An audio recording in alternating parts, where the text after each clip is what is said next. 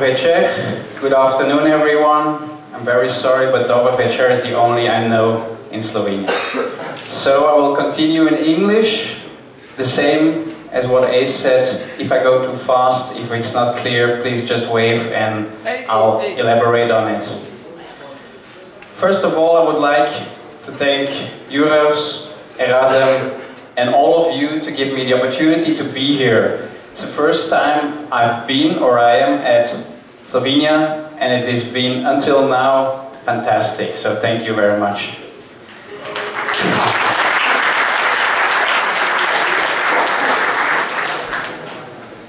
I want to talk about this, what I believe um, is the most important thing for us as sailplane pilots. We have some problems with our sport, we have difficulties, but I think if you and I follow this, this never stop exploring and show passion for our sport, then we will grow and we will continue. Before we do that, we have to go back some 120 something years to our good friend Otto. We owe our sport to this man. He owed his life to it. And you see his biggest flight was 25 meters. Just a couple of years later, before World War I, this young Russian lady flew 749 kilometers in a glider, which looked like this, a Rot Front 7 glide angle of less than 30, but on the back seat, you can see it had a huge water tank, 120 liters of water in this old wooden glider. It's incredible. 2003, this is where we are now. This is Argentina, famous Klaus Ohlmann in front of the volcano Lanin after his 3,000 kilometer flight. What will we, we will be able to do in 2050, we don't know of course, but I will say there are no limits. But still, we hear this voice all the time, everywhere. The old days were the good days, old times were better. Maybe it's true. This is what we have today airspace which is incredible. I come from Belgium. Anyone has seen those maps, those airspace maps over there? It's insane. We only are able to fly with transponder. This is of course very difficult and makes flying more expensive and more difficult. You've seen it this morning. We need checklists to figure out if our license is still valid. It's incredible, but we have to deal with these problems. Memberships. This is a Swiss membership charge where I'm flying right now. 1996, 3,500 members. 2011, 1,000 pilots less. I'm pretty sure everywhere in Europe this problem occurs.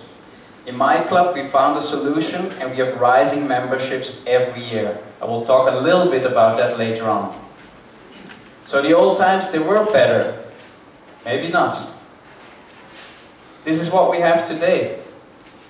Our friend Otto could dream about weather charts who say we can fly in the first hours 100 kilometers and at the end of the day we can do 600. These things are just developed in the last 15 years and they are tremendously useful. These data, everyone knows RASP, are available for free even though sometimes it looks they're made this way.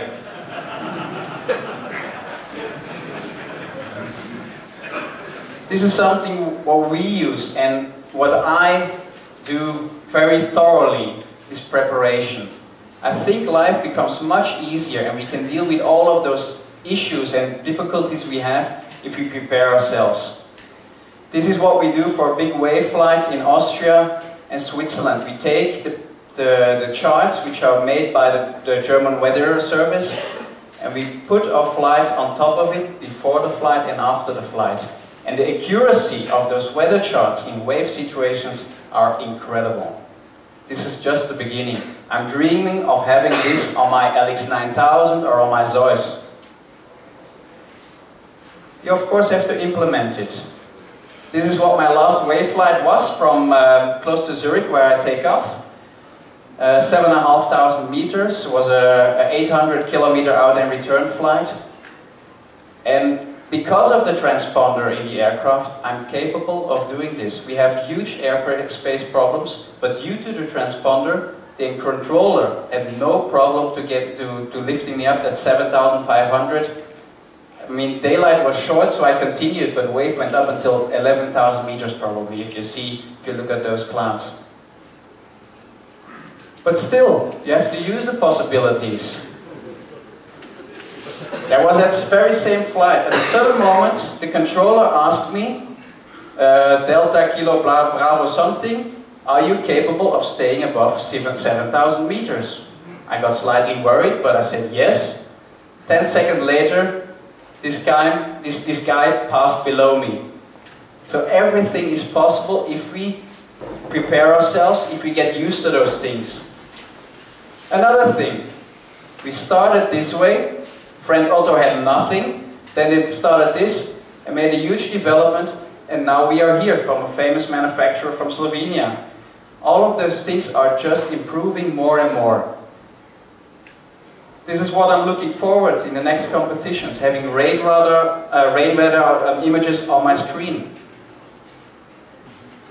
And something else. This is what we do in my club. We have all generations. We have got pilots from 20 year until 70 years old.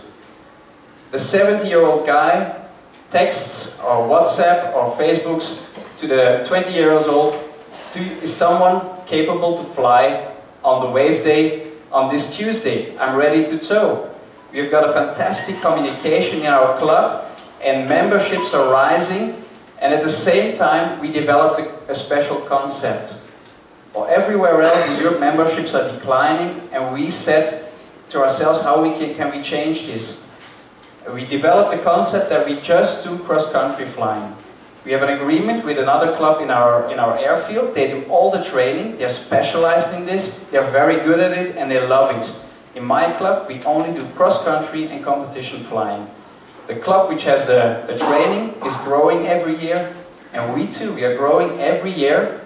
This year we had six pilots who went to European Championships.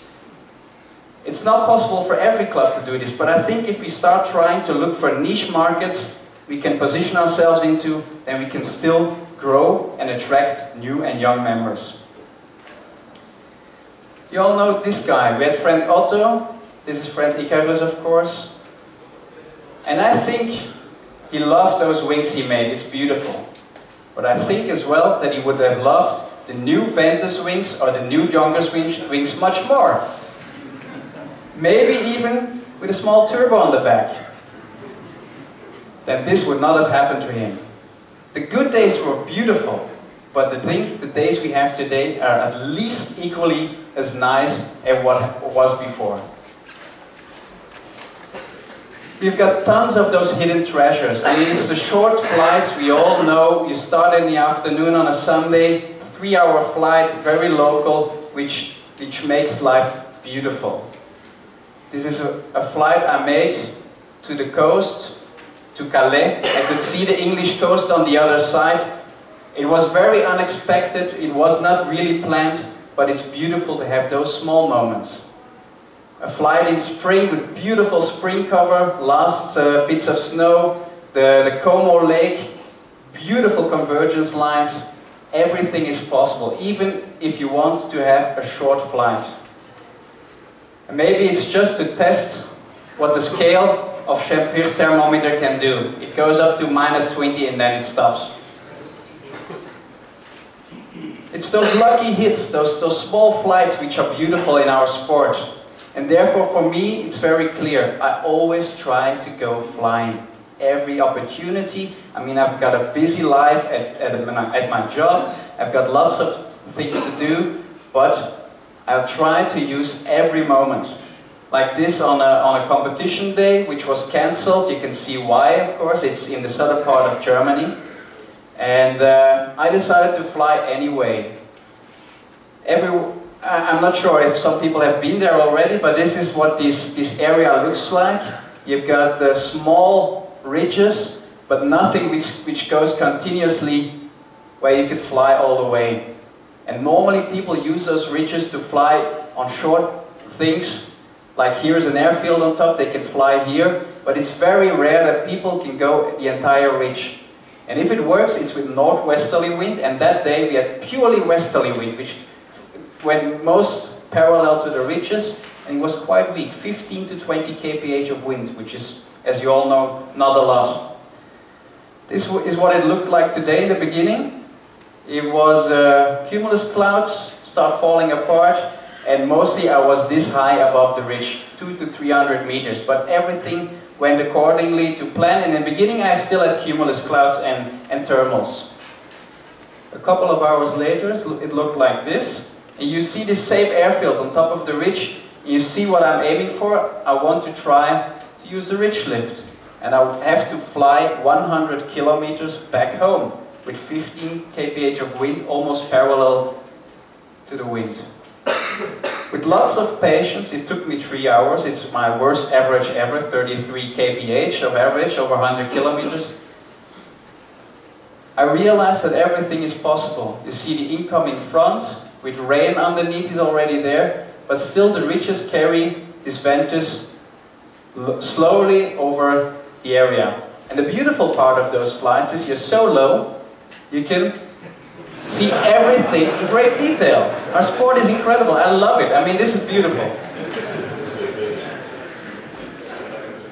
Finally, somehow the glider carried me home, and I could go, I could put it away in its covers, and could go for a good beer. This is what a sport can be like in a, in a Sunday afternoon for a short flight. It brings me to cross-country flying. I really love making big distances. I love the small local flights as well, but this is what I really I'm passionate about is cross-country flying and in the, in the next step, competition flying. But let's talk about this. We are lucky. All young pilots in this room are lucky. 50 years ago, competition pilots, cross-country pilots kept their secrets for themselves. Today, you read this book, it's about 25 years old, maybe 30 already right now, from the famous Helmut Reichmann, if you're into cross-country flying. And then you read Leo Enrique Brigliadori's um, competing in gliders, and you know everything about competitions as well. Everything is written down, all top pilots are available, and you can talk to them. These people were the ones who were very important for me my family is a gliding family, so I, I, have, I have a little bit of an advantage, of course, compared to people who didn't have a, a, parent or something who did that.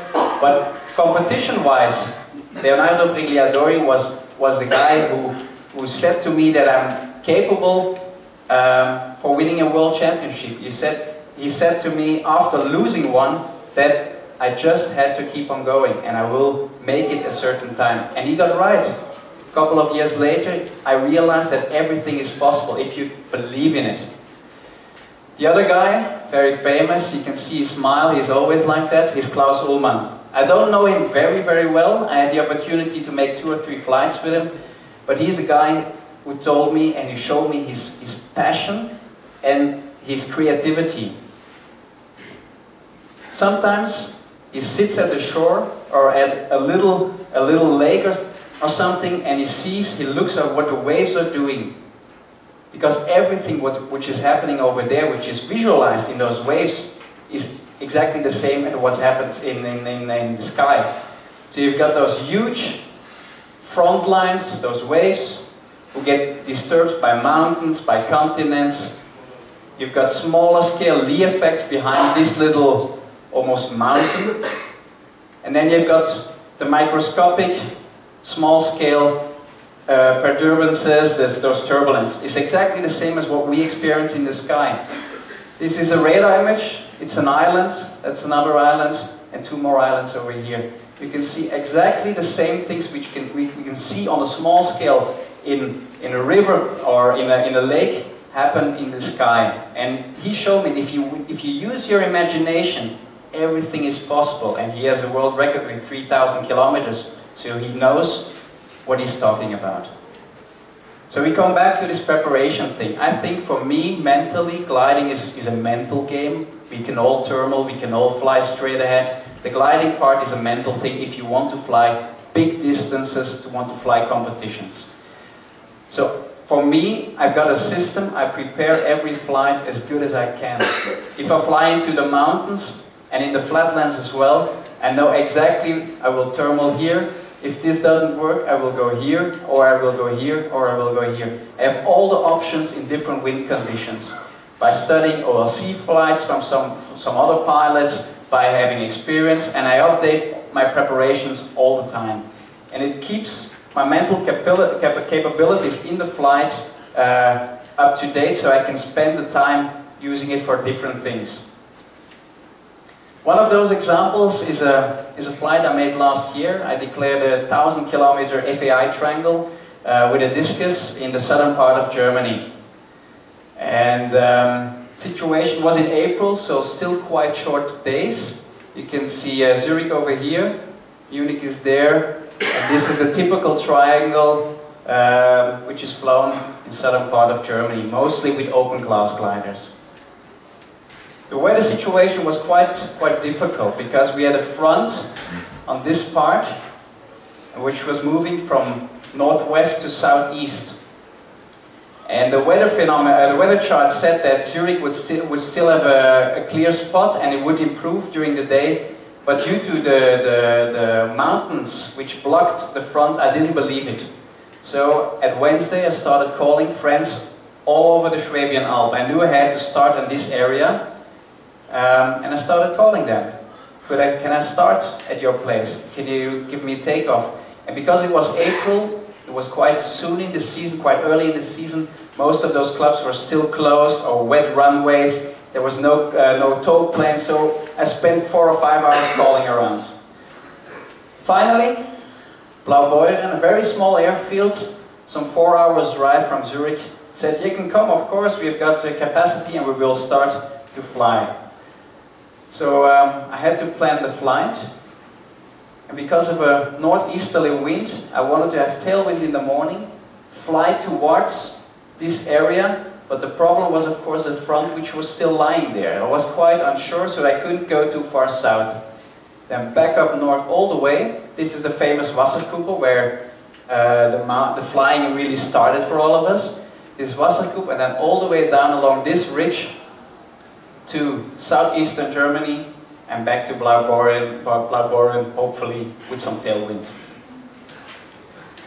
And you can see the turn point in the morning was quite close to what, uh, what was possible. A little bit more south would not have been possible, and all the rest of the flight was very easy. Beautiful cumulus, and in the end some tailwind. This is what it looked like. I woke up this the morning at 3 o'clock in the morning. I told to Barbara, my girlfriend, I'm going to go flying. Flying it was raining totally. She said, you're crazy, but the glider was there, so I went, took the car, drove four hours, and at 9.30 at the morning at Blaubeuren, it looked like this. First cumulus, quite low. I was at tow at 9.45. First very nice cloud street, 700 meters above the ground. Um, but it was very easy, of course. We had a tailwind. First leg was an average of 145 something at 10 o'clock in the morning. And then the difficulty started a bit. The Black Forest, the clouds were 400 meters above the ground. Outlanding possibilities are not so easy over there, so you had to fly quite careful. And I lost a bit of time.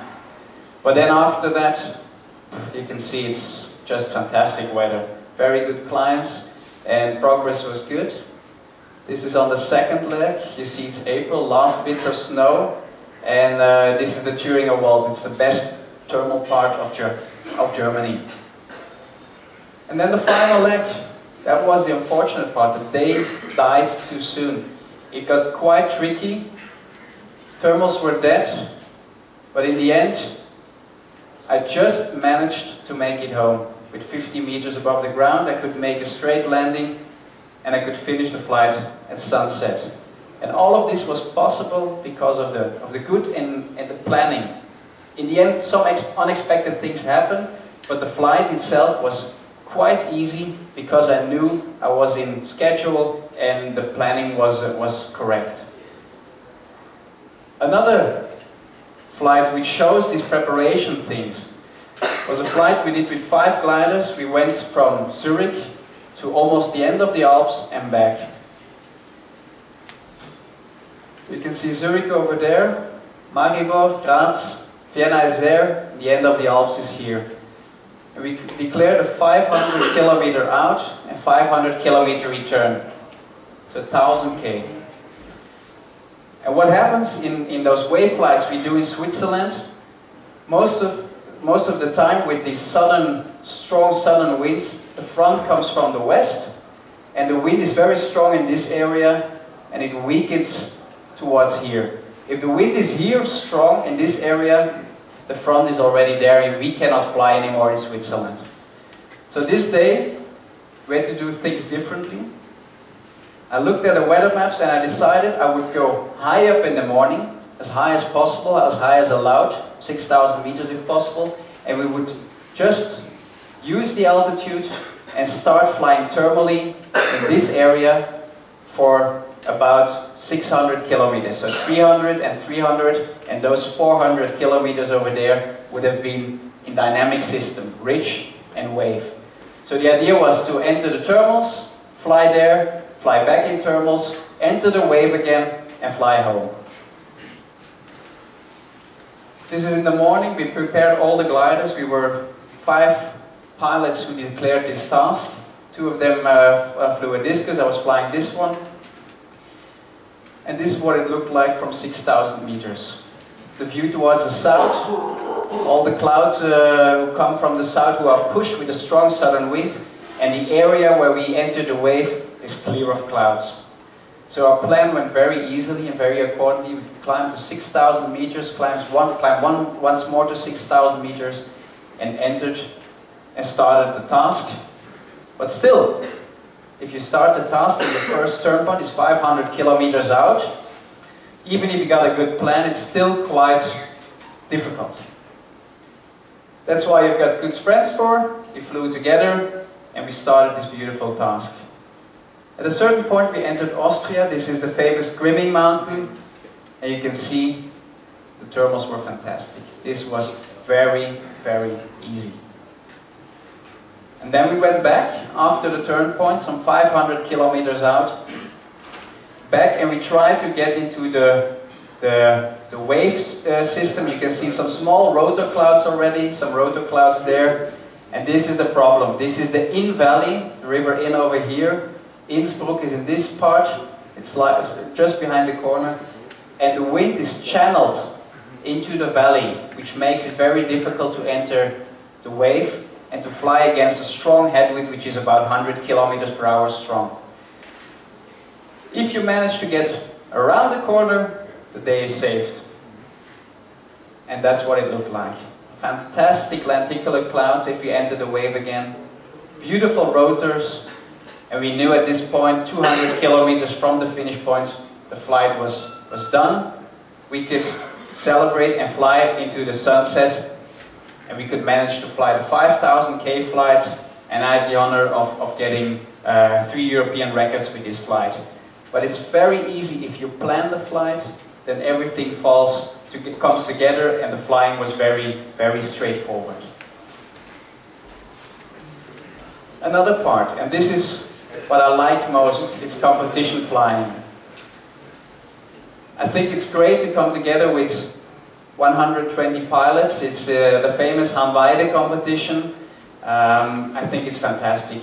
You fly against each other in a good atmosphere. In the evening you drink a beer together and um, it's where I learn the most. It's the same again. This is for me the important part. I prepare for a competition and during the competition it's very relaxed for me. I rarely maybe never have stress during a competition because I know where the good thermals are, I know where I will fly in a certain type of weather. I also prepare. If we have a turn point over here, can I go there? We were in the World Championships 2014 and we were in a situation, I was leading the competition, I was in first place of the world and it was a situation where we had to cross a big, big forest with one thermal in the middle of the forest. And it's a difficult position because you, you want to cross the forest, and at that moment we said, no, we won't do this. I mean, I want to go to a competition, I will, I'm willing to take certain risks, but I'm not flying in an area where I cannot land, crash, maybe even die. So you have to set your limits, and that's what I try to do in my preparation. Same is for finish lines. Can I land in these places?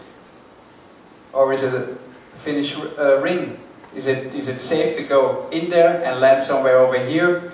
It's all of those things who make life very easy if you know where you go and if you prepare. That's what I love about competitions. It's a little bit of adventure which is left. This is not fun at the moment itself, but afterwards, of course, a great story in the bar. Let me talk a, little bit about Räyskälä. Räyskälä is uh, Finland, as you all know. It's very far north, so you have incredibly long days. The daylight goes from 3 in the morning until 11 in the evening, so you've got days, thermal days which are very long and 1000k flights happen very often over there. This is what Finland is typically known for. Fantastic cumulus clouds, big lakes, and even bigger forests. And this is what it looked like. The training week 2014, the shoreline of Finland, isn't it beautiful? I mean, we are so lucky that we can see those things from the sky. My brother was there in 2010, I think, in the World Championship for juniors, and they had 600 kilometer flights every day. And he talked and he said, it's fantastic, it's incredible, we have to go there. I can tell you, it's lies, damn lies. 21st of June, it's snowing in Finland. But if you got a good um, team which is organizing the competition and which stay cool in all of these situations, it's no problem at all. And I can must say, we had not a lot of flying days. We had seven days in the end, but they did a fantastic job. And if you're well prepared and you've got a good atmosphere, everything is possible. this is what the first competition day looked like cumulus clouds who look, well, yeah, you can see for yourself, snow showers, rain showers everywhere.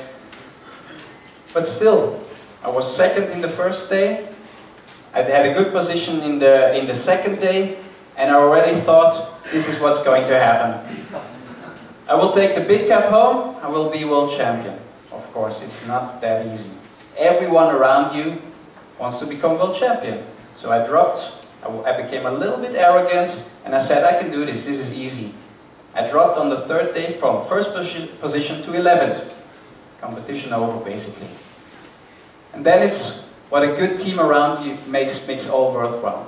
We were a small team from Belgium. It uh, was a family team. My father was a mental coach, an experienced pilot, and a meteorologist for, for the team. Barbara made sure that we were happy, that uh, everything was good. My mom was a team captain and my brother was a team partner. So we know each other very well and that makes it a little bit easier and I truly believe that is what made the advantage compared to other teams. If you got good friends, family or whatever around you, things get a little bit more easy. But still, we had lots of days wasted, we were gritting in the rain, it looked more or less like this for four or five days in a row and we, we knew we had to have lots of days to fly. To come back from 11th, at least until the podium. But luckily, Barbara, completely in pink, it's raining, it's 80 kph of wind, but she's still smiling and making my life as a pilot easy. So we had to come back. And this is the day when everything uh, went well again. It was a wave day. Was, Finland is completely flat. You can see cloud streets, 80 kph of wind, and lenticular clouds on top of it. A couple of pilots, amongst them the Belgian team, my brother and myself, but of course Sebastian Kawa, the, um, the English pilots, all the ones who were fighting for the title, were there with us. We climbed up into the wave. In the end we were here, at the lenticular cloud and made it around the task with just three pilots. So that meant back from 11 up until the second place, and everything was to play for again. The problem was the pilot in front of me, Sebastian Kawa, the unbeatable one. 10 world, uh, 10 world titles, so I was thinking a podium place is already very nice, but somehow we managed to go into the last day with 8 points in front of Sebastian. I can tell you, I'm a very calm guy in the cockpit, I don't get nervous, but if I have 45 seconds advantage front of Sebastian Kawa and his three teammates, I didn't sleep very well. And I was quite nervous that flight. So we discussed tactics, everything involved. Do we follow Sebastian? Do, you, do we not follow him? In the end, we didn't follow him. We started on the best, on the last day, the best day of the competition, all together. The two English guys, the two Belgian pilots, and the three Polish pilots as well. So we were two pilots to control five other pilots who all could be able to win the title. I can tell you it was the most exciting race of my life, but it's very easy to understand, of course. They were in front, we were in front, it was like this all the time. But in the end, we all started together, and we all finished together. So, that made me the lucky guy. Was the first Belgian pilot to have the, the, the cup, but in the end it was not my title. For me, truly, I truly believe this title was the title of the team. We all deserved it, we all fought, fought for it, and I think that is what makes this sport so beautiful in competitions. We can all be a champion if you got the right partners, the right team pilots, and everything uh, around it. Let me come to the, the last part. It's the adventure part. Besides flying competitions, I think we have the opportunity and the, and the luck that we have one of those sports where we have um, unbelievable possibilities. We can fly from here to the coast, which is, which is uh, incredible. If you start here in Celje and you fly to the coast, you see all those ships. You can fly to Croatia. From Switzerland, I can fly to the southern part of France. There are not so many sports who can do that. And it doesn't matter. I mean, this was a flight, 145 kph of wind. There were some, some guys I was, I was quite comfortable in the, in the glider, but there were some guys climbing this mountain in 145 kph of wind. I thought they were crazy, but they looked down on me and they said, you're crazy. But it's, it's fantastic. Or this part. We went flying into Morocco, and by coincidence, the Solar Impulse was there, was in Ouarzazate, and my father and I got promoted to camel supervisor. there are not so many sports where you can find all of these beautiful things crossing of the Gotthard mountain. It was raining on the northern side of the Alps. We flew very low over the, over the Gotthard and on the other side beautiful cumulus clouds. Waarschuwing. Ace can read this. This is South Africa. Lions in this area. We had to cross this gate every day to go to the airfield. But let's talk about this. This is a little paradise which I'm very grateful that I know some very nice Slovenian glider pilots. He's somewhere around here. Andre, I think you called Zico over here. He's the one who told me about Little Namibia. This is incredible, and you are so lucky that you can go there in a couple of hours of drive. It doesn't look like this anymore, I've been told. It has a concrete runway right now. It's a small city, it's beautiful, they're very friendly people and the flying is just insane. Of course, this is insane as well. You need some thorough briefing, you need some preparation again, but it has been a fantastic experience to fly there. Look at this. Look at this. I mean, this is four to five meters everywhere. And this is a flight uh, Bastian Brichtebek made, thousand kilometers, very nearby. And I wasn't there on that flight, but I can only assume it looked a little bit like this. Cloud base 4,600 meters above sea level. Climb rates, I don't know, four, five, six meters per second, just insane. And you live a six hours drive away from there. Namibia is not here. You can go to Namibia. It's very nearby. The beautiful canyon which goes to, to Mostar in this area. My brother flying the, the glider we, we got uh, from, from the local pilots. Fantastic final glides in the sunset. The lake nearby. And above all, the friendship.